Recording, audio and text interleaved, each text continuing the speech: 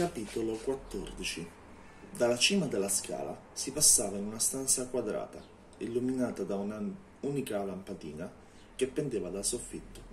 Mai avrei detto che una lampadina nuda potesse apparirmi bella, e invece era proprio così. Era un segno che ci stavamo allontanando dal sotterraneo, degli orrori, per avvicinarsi al mondo reale. E io ero pronto a tornare a casa. La stanza in pietra aveva due porte, una davanti alla scala, l'altra sulla destra. Da dietro la prima giungeva forte e chiaro l'allegra una musica da circo. Quando la porta fu aperta, fummo inondati dalla musica e da una marea di colori sgargianti. Scorgemmo centinaia di persone in movimento e un'insegna lampeggiante che annunciava Palazzo dei divertimenti. Quella sorta di carnevale all'interno di un edificio mi fece capire subito dove mi trovavo, nel circo dei dannati.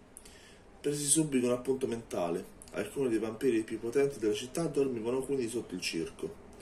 Mentre la porta si richiudeva, attenuando la musica, nascondendo i colori e le luci, incontrai lo sguardo di un adolescente che cercava di sbirciare all'interno.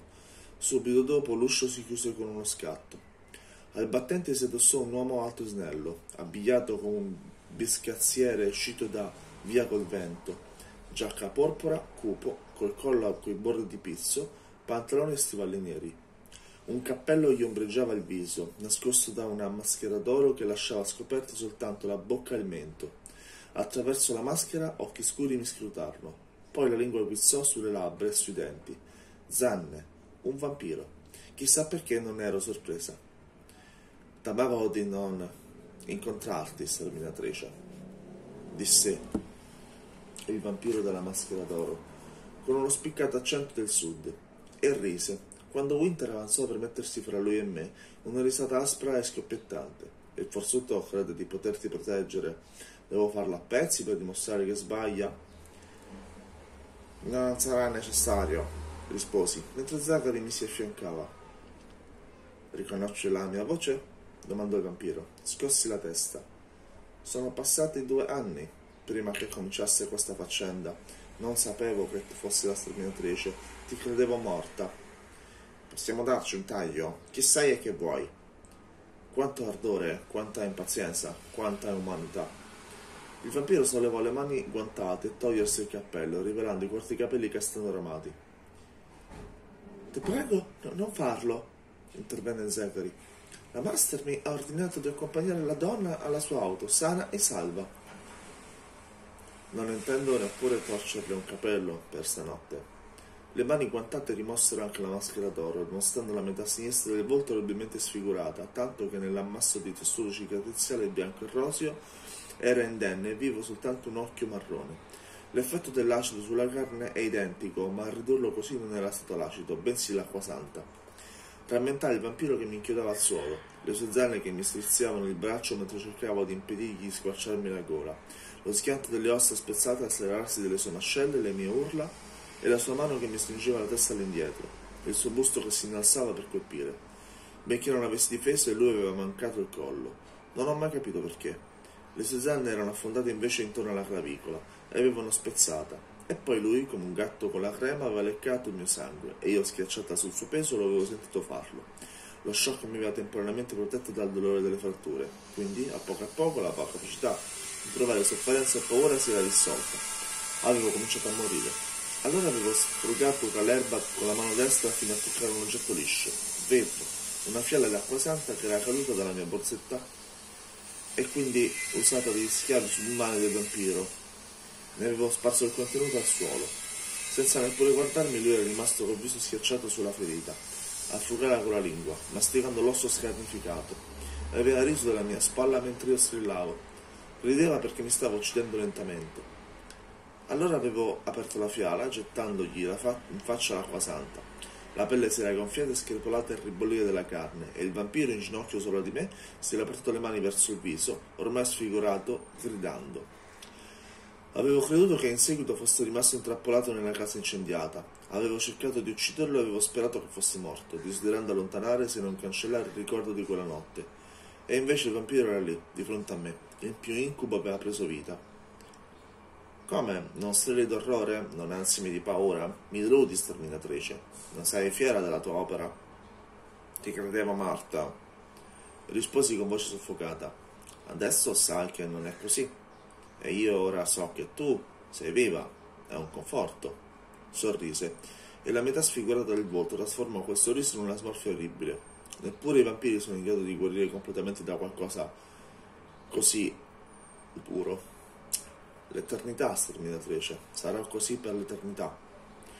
Con una mano guantata si accarezzò l'ammasso di testudo cicatriziale. Che vuoi? Sii coraggiosa, ragazza. Sii coraggiosa quanto desideri essere. Posso percepire la tua paura, ma voglio vedere le cicatrici delle ferite che ti ho inflitto, per assicurarmi che ricordi, ma proprio come io ricordo te. Che ricordo. Le cicatrici, ragazza, mostrami le cicatrici. Va bene, posso farlo. E poi? Poi te ne torni a casa e vai dove vuoi. La master ha ordinato di non conoscerti finché non avrai portato a termine il tuo incarico per noi. E poi? Con un ampio sorriso il vampiro scoprì la dentatura zannuta. Darò la caccia e ti pagherò per questo conto che mi inflitto. Si accarezzò il viso. Su via ragazza, non essere timida. Ho già visto tutto quanto e ho assaggiato il tuo sangue. Mostrami le cicatrici e tuo superfilm dovrà morire per dimostrare quanto è potente. Guardai Winter che aveva le braccia incrociate sul petto, i pugni chiusi, la schiena quasi vibrante per la tensione. Il vampiro aveva ragione, pur di proteggermi era pronto a battersi e a morire.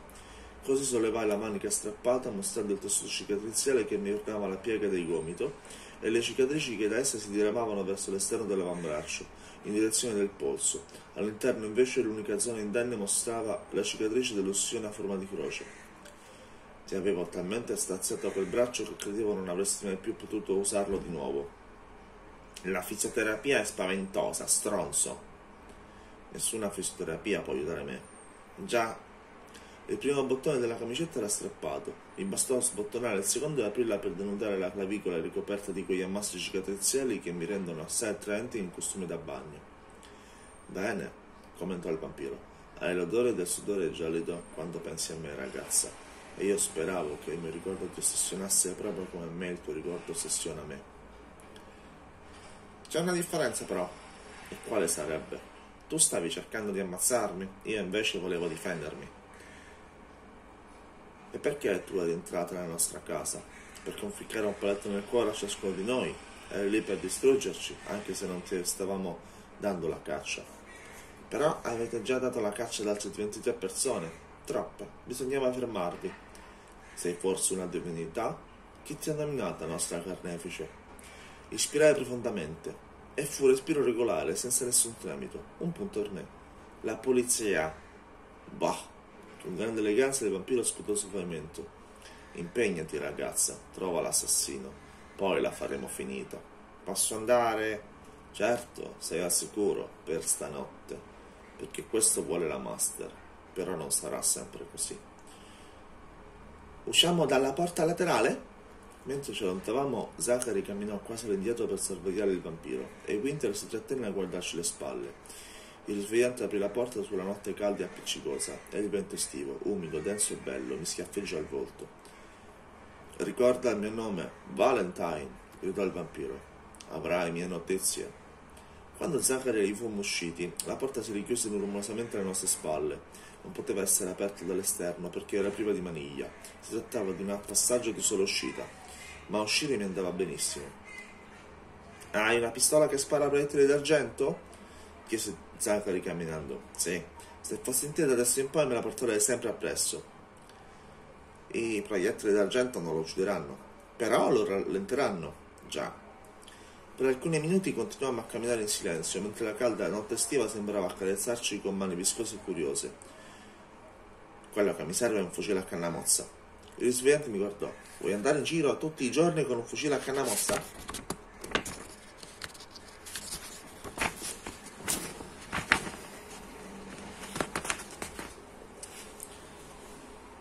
Se la canna fosse abbastanza corta, la giacca la nasconderebbe.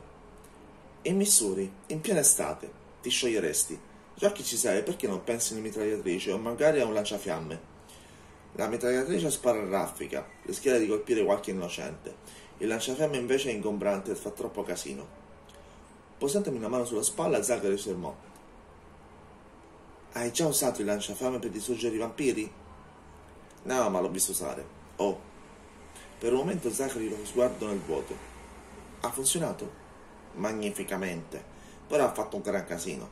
La casa in cui ci trovavamo è andata a fuoco e mi è sembrato che possa un tantino eccessivo. Non ti do torto. Riprendemmo a camminare. Devi odiarli molto i vampiri, riprese Zachary. Non li odio affatto. Allora perché li distruggi? Perché è il mio lavoro e lo faccio bene.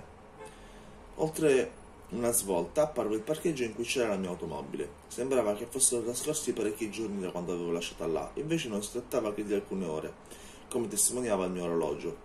Era una sensazione analoga a quella del jet lag, però invece di passare da un fuso orario a un altro, ero passato da un se- una serie di eventi a un'altra. Una successione di eventi traumatici confonde il senso del tempo, concentrando troppi avvenimenti in una porzione di tempo troppo breve.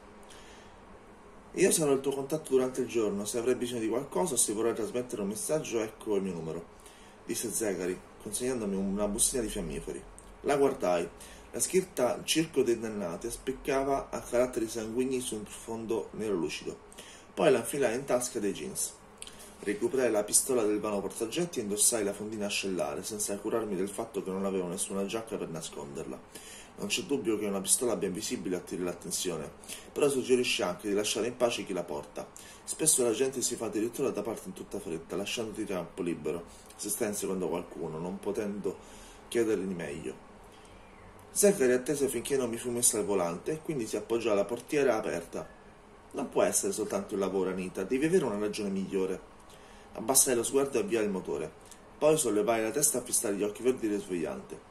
Ho paura di loro. Distruggere ciò che spaventa è una cosa molto umana, molto naturale. La maggior parte della gente passa la vita a evitare ciò che lo spaventa, tu invece lo insegui. È folle. Un punto a favore di Zachary. Chiusi la porta e lo lasciai solo nella calda oscurità. Resuscitavo i morti e dispensavo l'eterno riposo ai non morti. Era quello che facevo, era quello che ero. Se mai avessi cominciato a indagare sulle motivazioni, avrei smesso di annientare i vampiri. Era semplice. Quella notte, insomma, non avevo nessuna intenzione di dedicarmi all'autoanalisi, quindi ero ancora una cacciatrice di vampiri e meritavo il soprannome che quegli stessi vampiri avevano coniato per me.